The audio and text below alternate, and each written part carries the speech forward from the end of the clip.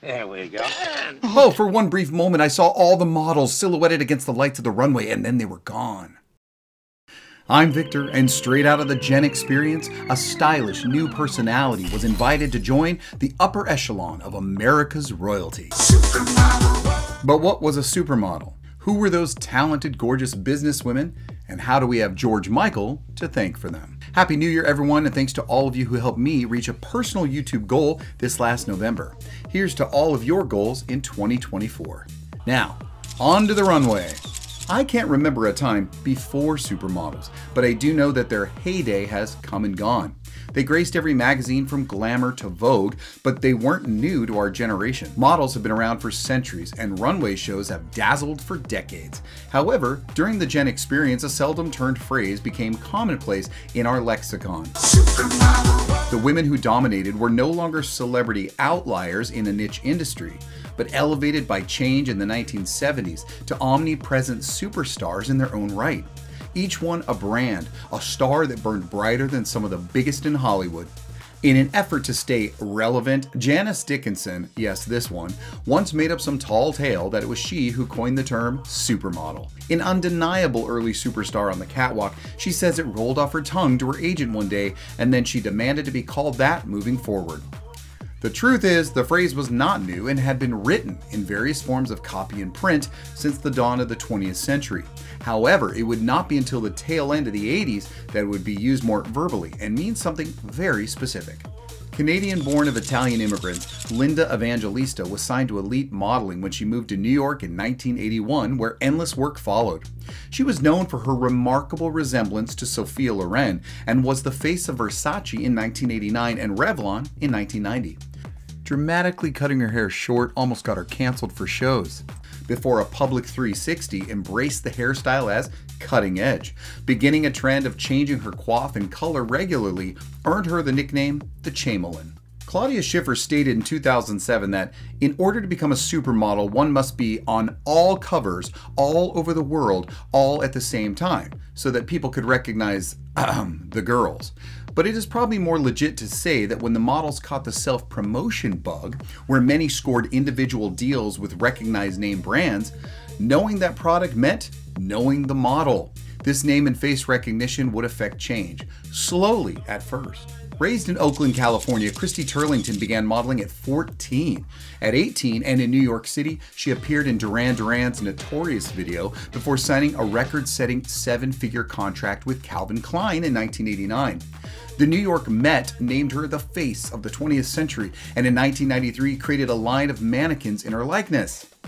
Honor or creepy? You decide. Her deal was certainly a huge payout, but she wasn't the first to do it. Lauren Hutton made the first cosmetic contract back in 1973. Certainly not for the money Christy had, but Lauren also leveraged this new visibility and the countless media attention into film roles, including the starring female in American Gigolo with Richard Gere. Ernest Hemingway's granddaughter Margot, yes, that Ernest Hemingway, followed Lauren with a $1 million deal for Fabergé, which upped her game but opportunities outside of modeling barely materialized. But time to give credit where credit is due. Sports Illustrated, yes, a magazine that people used to read. Or at least look at the pictures, especially when it came to the anticipated annual swimsuit issue. Even if you didn't read it, you knew about it, as that issue was released with as much fanfare as the Olympic opening ceremonies. Sports Illustrated editor Jule Campbell turned her back on the then current pencil thin modeling trends of Twiggy and Jerry Hall by photographing bigger and healthier California models for the popular issue, going as far as to also print their full name with their photos, a first, leading to many more achieving household recognition. This turning point may have you start recognizing some of the most famous of the period. They may have been super to many of us, but still didn't come in blazon with that label as the 70s came to a close, the likes of Christie Brinkley, who has the distinction of the longest running cosmetic contract with CoverGirl for 25 years, and Kathy Ireland and Elle Macpherson, they were among the new and instantly familiar. The British born Naomi Campbell studied dance and theater early on, even landing herself roles in The Cosby Show and Fresh Prince of Bel Air, while also being known for appearing in Bob Marley and Culture Club music videos. At 16, Elle magazine gave her the first major modeling gig, and she soon found herself the first black model on Western magazines like Vogue in 1987 and Time magazine in 1991. With that much clout, Campbell had endless runway shows lined up when Michael Jackson called with an offer. Not taking no for an answer, he proceeded to pay to get her out of her tour contract and fly her to the California desert to film in his beautiful but oft forgotten video, In the Closet. But in 1981, supermodel was not yet uttered in common nomenclature. Top model or new, fresh face were all fairly ubiquitous. In October that same year, Life magazine cited Shelley Hack, Lauren Hutton, and Iman for Revlon, Margot Hemingway for Fabergé, Karen Graham for Estee Lauder, Christina Ferrare for Max Factor, and Cheryl Tiegs for CoverGirl, and proclaimed them the million dollar faces of the beauty industry. These million dollar faces were negotiating previously unheard of lucrative and exclusive deals with giant cosmetic companies. Instantly, they were recognizable, and their names finally became well known fixtures to the general public, and they began being seen in public more with A list stars and power players. Cheryl Tiegs has seemingly been unofficially retconned with the moniker of first American supermodel, becoming a cultural icon during the 1970s. In addition to covers of Vogue, Cosmo, Harper's Bazaar, and Glamour magazines, she appeared on the cover of Sports Illustrated, People, Newsweek, and Us with the caption, Why She's America's Top Model. Her 1978 pink bikini poster became a symbol of 70s pop culture and was the second best selling poster of that decade. I bet this audience knows whose was the best selling poster.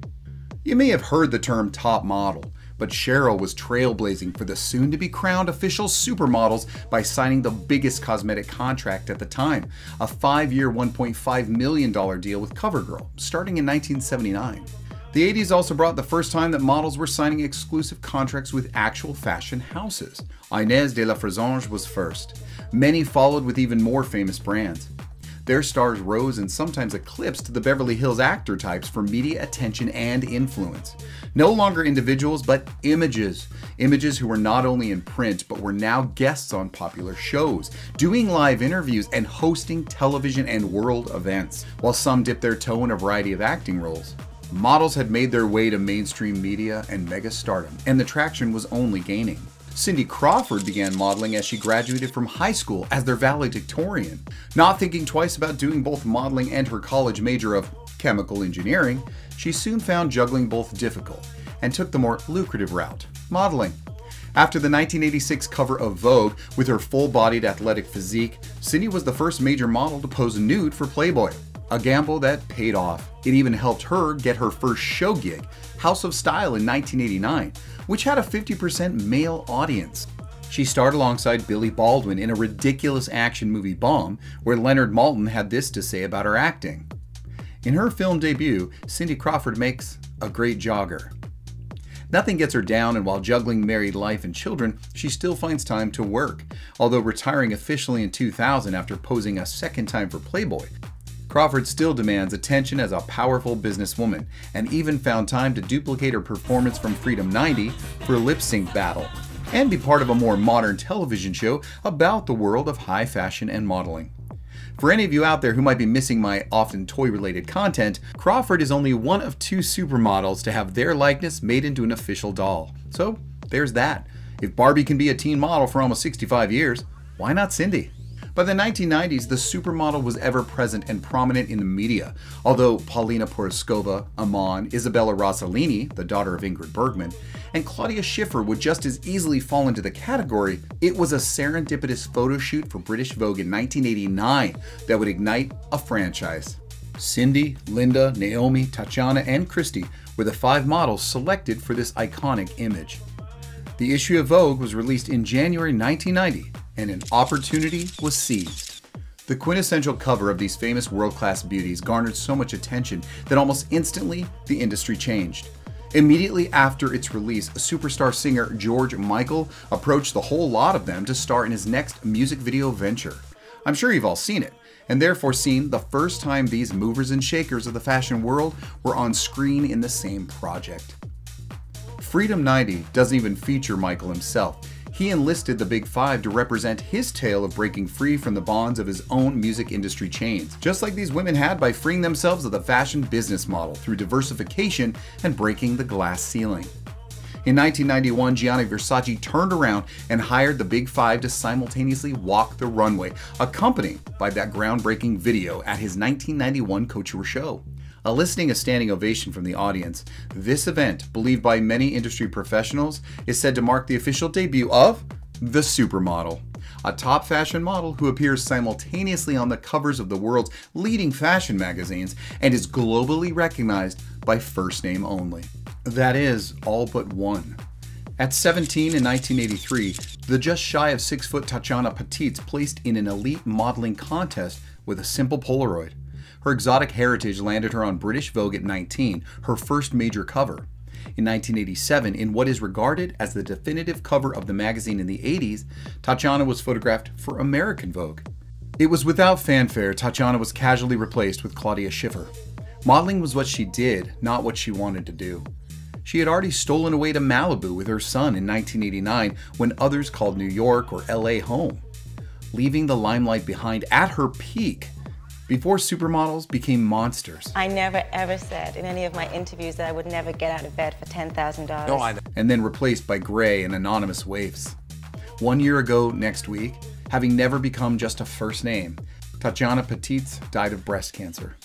Claudia was already ingrained into the Big Five, about to become the Big Six, when Kate Moss was adopted into the fold. The title affirmed these women's hard work, work that was non-stop since the mid 80s. The title became equivalent to superstar, to signify a model's fame having risen simply from previously a lesser known personality. This was the era where a model like Turlington signed a contract with Maybelline that paid her $800,000 for 12 days of work each year. But like the Brat Pack, where there is an official list and yet countless others who everyone considers part of the assemblage, there are others who did much of the same as Crawford, Campbell, or Turlington, rose from the ranks, branched out, secured deals, and sustained the fame. They may not have been branded with the unofficial official label, but should be remembered as the smart and beautiful women who blazed a trail for those coming up in the industry. Even the Barbi twins, who have a bit cheekier history, have a story to share. By the way, check out my Brat Pack show via the link in the description for more on the gang. But who were the new up and comers? They were young hopefuls with lofty expectations of the business. They came with delusions of instant gratification and reward. Expectation that led to the that I would never get out of bed for $10,000. No, attitudes that had fashion houses and editors eventually having to swing the pendulum back the opposite direction. They were also the influx of international models, where English was not a first language, and therefore did not possess the business prowess or capitalistic ingenuity of the American woman. Without the resources, suddenly there was no more interviews, no more hosting televised events or opportunities to be seen other than on billboards or runways. They were also those who arrived too young, glorifying a heroin chic with their emaciated frames that wouldn't benefit the major companies or even Hollywood. However, Hollywood was happy to fill the void the supermodels once owned as the face of major cosmetic companies. Revlon and Max Factor were happy to partner with established stars who had sustainability and visibility without the whims of a new entitled model. The expectation of wealth and fame without earning it would leave these new models with anonymity they did not anticipate. By the late 90s and into the 2000s, the same opportunities were no longer available even the most praised models. Tyra Banks and Heidi Klum had to go into reality TV as fashion houses were looking for the unknowns. And Victoria's Secret was still molding fresh new faces to rise from the fashion industry like a stable of talent, just without the same power they once yielded. As the world continues to change too fast these days, other factors pressured by social media and social justice has made the industry rot for change and representation. Some very necessary, some completely laughable. Great deals are still signed here and there, but without the clout, these contracts pale in comparison to the impact of those that came before. But once upon a time, during the celebrity obsessed era of the 80s and 90s, the supermodel made their mark, planted their feet, and made it clear they were here. Even if only for a little while. The undisputed title holders of Supermodel earn those crowns and will forever be a little slice of the Gen extinct history. Thanks for joining me on this rollicking journey through the Gen Xperience, a fascinating tale of something truly preserved by an era. If you enjoyed it as much as I did making it, please click the like and think about supporting my channel by subscribing. To all new and returning viewers, thank you so much for being here and please check out other great content from the Gen Xperience. Until next time.